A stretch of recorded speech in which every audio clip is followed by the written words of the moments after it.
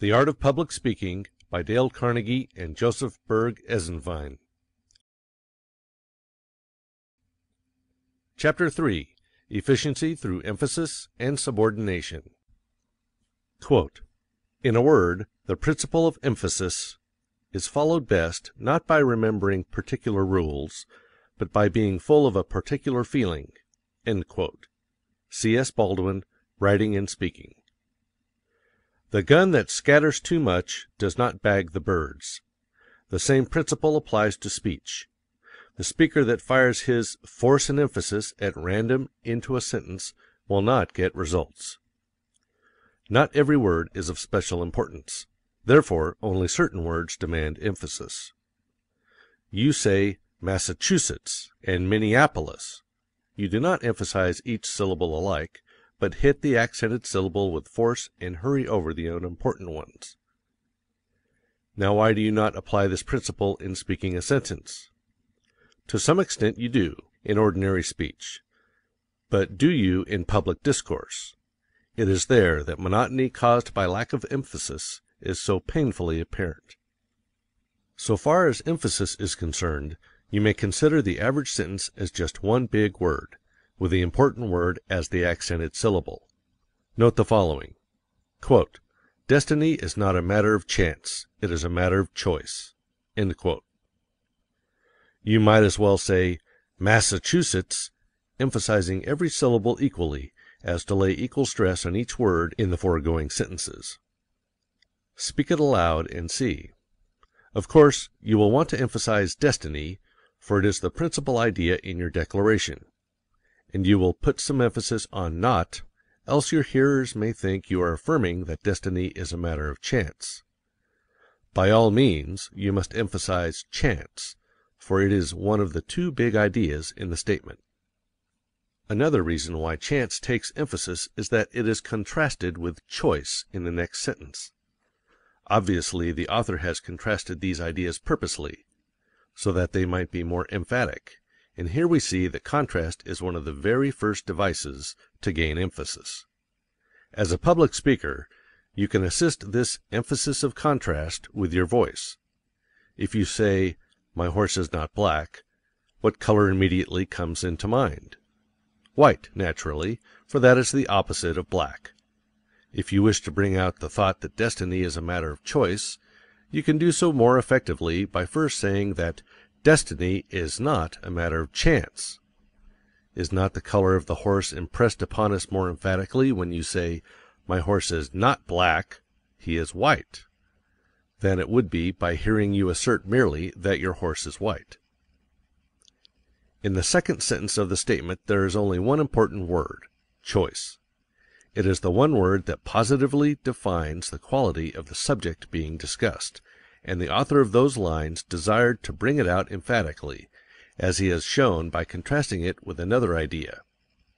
These lines, then, would read like this: Destiny is not a matter of chance, it is a matter of choice. Now read this over, striking the words in capitals with a great deal of force. In almost every sentence there are a few mountain peak words that represent the big important ideas. When you pick up the evening paper you can tell at a glance which are the important news articles. Thanks to the editor, he does not tell about a hold up in Hong Kong in the same sized type as he uses to report the death of five firemen in your home city. Size of type is his device to show emphasis in bold relief. He brings out, sometimes even in red headlines, the striking news of the day. It would be a boon to speech making if speakers would conserve the attention of their audiences in the same way, and emphasize only the words representing the important ideas.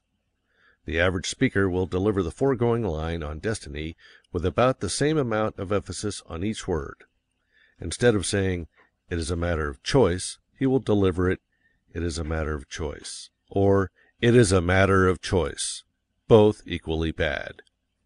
Charles Dana the famous editor of the New York Sun, told one of his reporters that if he went up the street and saw a dog bite a man, to pay no attention to it. The Sun could not afford to waste the time and attention of its readers on such unimportant happenings. "But," said Mr. Dana, "if you see a man bite a dog, hurry back to the office and write the story. Of course, that is news; that is unusual. Now the speaker who says, "It is a matter of choice," is putting too much emphasis upon things that are of no more importance to metropolitan readers than a dog bite; and when he fails to emphasize choice, he is like the reporter who "passes up" the man's biting a dog. The ideal speaker makes his big words stand out like mountain peaks; his unimportant words are submerged like stream beds. His big thoughts stand like huge oaks; his ideas of no especial value are merely like the grass around the tree. From all this we may deduce this important principle: emphasis is a matter of contrast and comparison. Recently the New York American featured an editorial by Arthur Brisbane. Note the following, printed in the same type as given here: "We do not know what the President thought when he got that message, or what the elephant thinks when he sees the mouse, but we do know what the President did." The words thought and did immediately catch the reader's attention, because they are different from the others, not especially because they are larger. If all the rest of the words in this sentence were made ten times as large as they are, and did and thought were kept at their present size, they would still be emphatic, because different.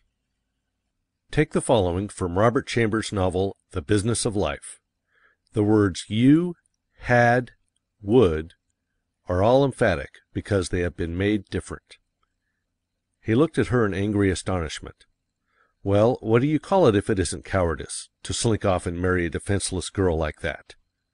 Did you expect me to give YOU a chance to destroy me and poison Jacqueline's mind?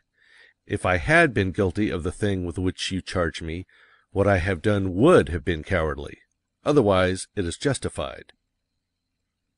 A Fifth Avenue bus would attract attention up at Minisink Ford, New York, while one of the ox teams that frequently pass there would attract attention on Fifth Avenue.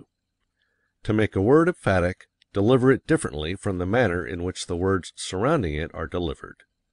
If you have been talking loudly, utter the emphatic word in a concentrated whisper, and you have intense emphasis. If you have been going fast, go very slow on the emphatic word. If you have been talking on a low pitch, jump to a high one on the emphatic word. If you have been talking on a high pitch, take a low one on your emphatic ideas. Read the chapters on inflection, feeling, pause, change of pitch, change of tempo. Each of these will explain in detail how to get emphasis through the use of a certain principle. In this chapter, however, we are considering only one form of emphasis, that of applying force to the important word and subordinating the unimportant words. Do not forget this is one of the main methods that you must continually employ in getting your effects.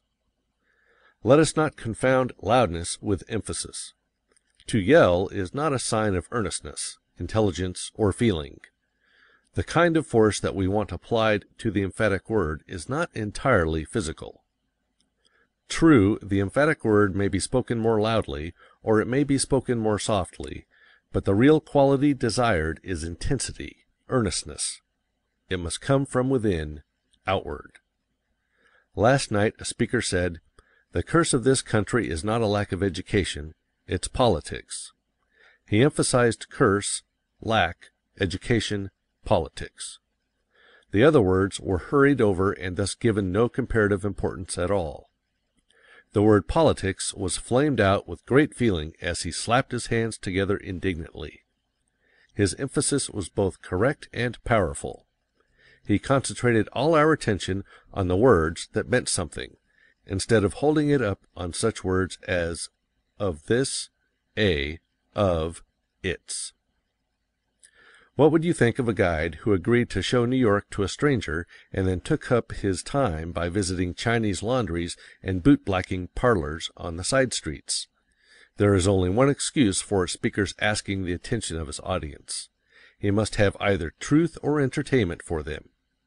If he wearies their attention with trifles they will have neither vivacity nor desire left when he reaches words of Wall Street and skyscraper importance. You do not dwell on these small words in your everyday conversation, because you are not a conversational bore. Apply the correct method of everyday speech to the platform.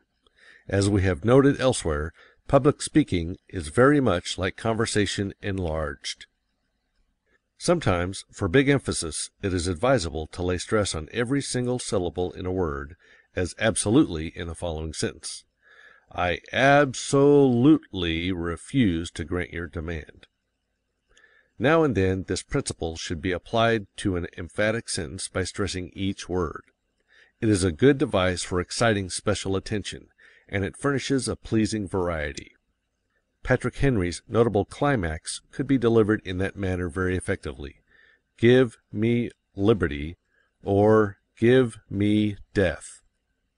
The italicized part of the following might also be delivered with this every word emphasis. Of course, there are many ways of delivering it; this is only one of several good interpretations that might be chosen. Knowing the price we must pay, the sacrifice we must make, the burdens we must carry, the assaults we must endure, knowing full well the cost, yet we enlist, and we enlist for the war; for we know the justice of our cause, and we know, too, its certain triumph. From "Pass Prosperity Around," by Albert J. Beveridge, before the Chicago National Convention of the Progressive Party. Strongly emphasizing a single word has a tendency to suggest its antithesis. Notice how the meaning changes by merely putting the emphasis on different words in the following sentence. The parenthetical expressions would really not be needed to supplement the emphatic words. I intended to buy a house this spring, even if you did not. I intended to buy a house this spring, but something prevented. I intended to buy a house this spring, instead of renting as heretofore. I intended to buy a house this spring, and not an automobile. I intended to buy a house this spring, instead of next spring. I intended to buy a house this spring, instead of in the autumn. When a great battle is reported in the papers, they do not keep emphasizing the same facts over and over again. They try to get new information or a new slant. The news that takes an important place in the morning edition will be relegated to a small space in the late afternoon edition. We are interested in new ideas and new facts. This principle has a very important bearing in determining your emphasis. Do not emphasize the same idea over and over again unless you desire to lay extra stress on it. Senator Thurston desired to put the maximum amount of emphasis on force in his speech on page 50. Note how force is emphasized repeatedly. As a general rule, however, the new idea, the new slant, whether in a newspaper report of a battle or a speaker's enunciation of his ideas, is emphatic.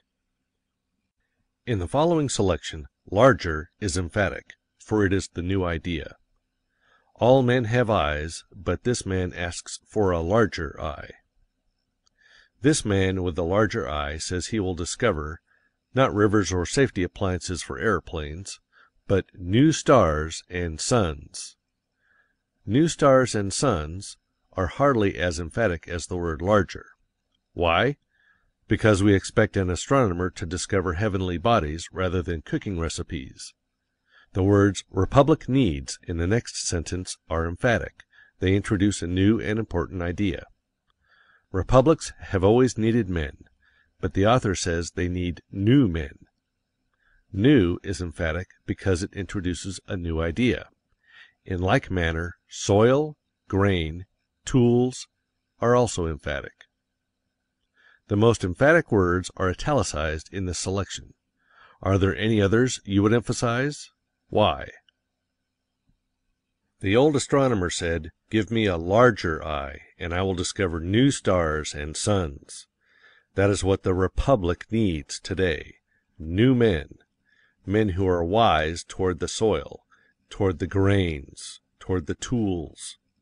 If God would only raise up for the people two or three men like Watt, Fulton, and McCormick, they would be worth more to the state than that treasure box named California or Mexico. And the real supremacy of man is based upon his capacity for education. Man is unique in the length of his childhood, which means the period of plasticity and education the childhood of a moth the distance that stands between the hatching of the robin and its maturity, represent a few hours or a few weeks, but twenty years for growth stands between man's cradle and his citizenship. This protracted childhood makes it possible to hand over to the boy all the accumulated stores achieved by races and civilizations through thousands of years. Anonymous. You must understand that there are no steel riveted rules of emphasis. It is not always possible to designate which word must and which must not be emphasized. One speaker will put one interpretation on a speech, another speaker will use different emphasis to bring out a different interpretation. No one can say that one interpretation is right and the other wrong. This principle must be borne in mind in all our marked exercises. Here your own intelligence must guide, and greatly to your profit. Questions and Exercises 1. What is emphasis? 2. Describe one method of destroying monotony of thought presentation. 3. What relation does this have to the use of the voice? 4. Which words should be emphasized, which subordinated, in a sentence? 5.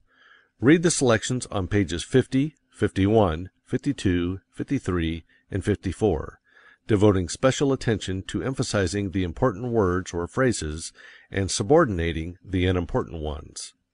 Read again, changing emphasis slightly. What is the effect? 6.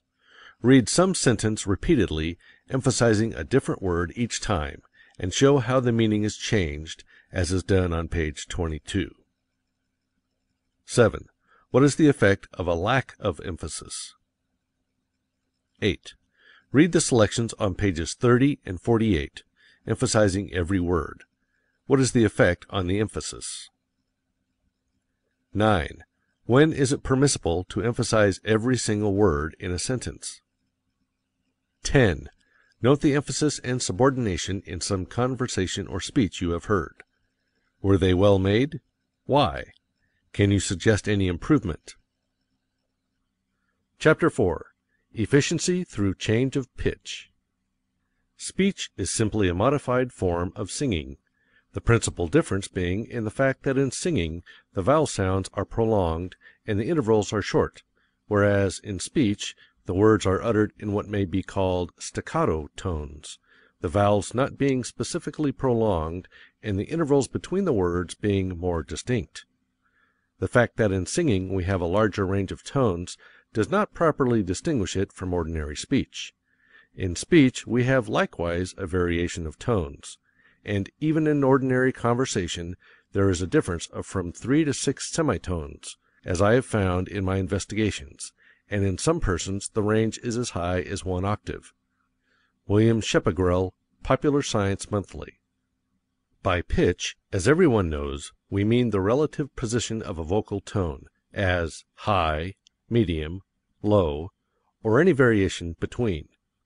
In public speech we apply it not only to a single utterance, as an exclamation or a monosyllable, "Oh!" or "thee," but to any group of syllables, words, and even sentences that may be spoken in a single tone.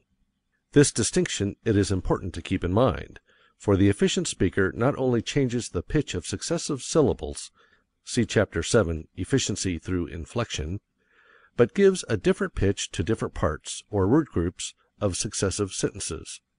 It is this phase of the subject which we are considering in this chapter. Every change in the thought demands a change in the voice pitch. Whether the speaker follows the rule consciously, unconsciously, or subconsciously, this is the logical basis upon which all good voice variation is made, yet this law is violated more often than any other by public speakers. A criminal may disregard a law of the state without detection and punishment, but the speaker who violates this regulation suffers its penalty at once in his loss of effectiveness, while his innocent hearers must endure the monotony, for monotony is not only a sin of the perpetrator, as we have shown, but a plague on the victims as well. Change of pitch is a stumbling block for almost all beginners, and for many experienced speakers also. This is especially true when the words of the speech have been memorized. If you wish to hear how pitch monotony sounds, strike the same note on the piano over and over again. You have in your speaking voice a range of pitch from high to low, with a great many shades between the extremes. With all these notes available there is no excuse for offending the ears and taste of your audience by continually using the one note.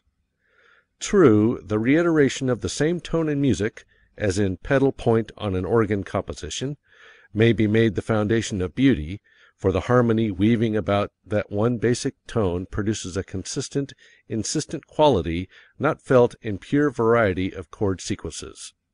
In like manner the intoning voice in a ritual may, though it rarely does, possess a solemn beauty. But the public speaker should shun the monotone as he would a pestilence. Continual change of pitch is nature's highest method. In our search for the principles of efficiency we must continually go back to nature. Listen, really listen, to the birds sing. Which of these feathered tribes are most pleasing in their vocal efforts? Those whose voices, though sweet, have little or no range, or those that, like the canary, the lark, and the nightingale, not only possess a considerable range, but utter their notes in continual variety of combinations. Even a sweet toned chirp, when reiterated without change, may grow maddening to the enforced listener. The little child seldom speaks in a monotonous pitch. Observe the conversations of little folk that you hear on the street or in the home, and note the continual changes of pitch. The unconscious speech of most adults is likewise full of pleasing variations. Imagine someone speaking the following, and consider if the effect would not be just about as indicated. Remember, we are not now discussing the inflection of single words, but the general pitch in which phrases are spoken.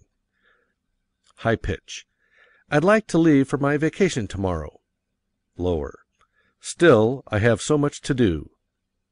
Higher. Yet, I suppose if I wait till I have time I'll never go. Repeat this, first in the pitches indicated, and then all in the one pitch, as many speakers would.